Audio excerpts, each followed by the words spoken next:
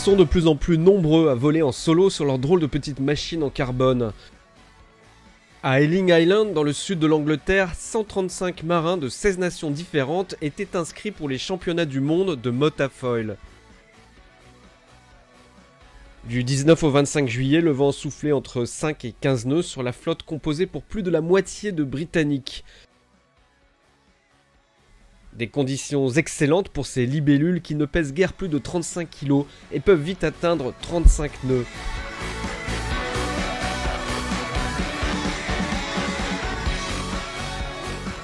Le premier des quatre Français présents termine 28e au général. Nouvellement converti au bateau qui vole, Sébastien Coll, vice-champion du monde de match race en 2008, est satisfait de sa reconversion. Je savais en venant ici que ces championnats du monde seraient difficiles pour moi, mais je sais aussi que j'ai une grosse marge de progression. J'ai commencé à naviguer en motte il y a 3 mois, donc je n'ai que 30 jours de navigation. Le mois dernier a été très intense et ça m'a vraiment plu. J'apprends tous les jours et c'est super.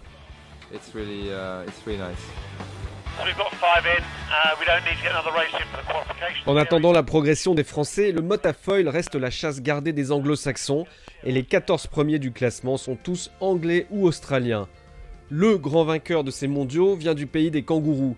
Médaillé olympique en 49er à Londres et barreur d'Artemis lors de la dernière America's Cup, Nathan Utteridge s'adjuge son second titre mondial en motte.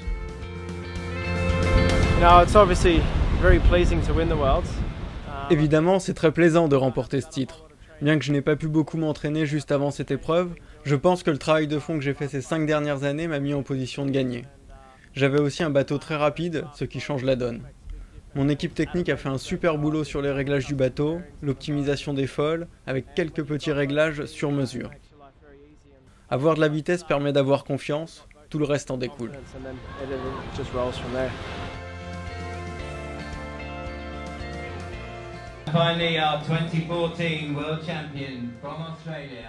Une méthode efficace que Nathan Utteridge pourra réutiliser dans moins de 6 mois à domicile pour le prochain grand événement de la classe MOT, les championnats du monde 2015 qui auront lieu en janvier prochain à Sorrento près de Melbourne en Australie.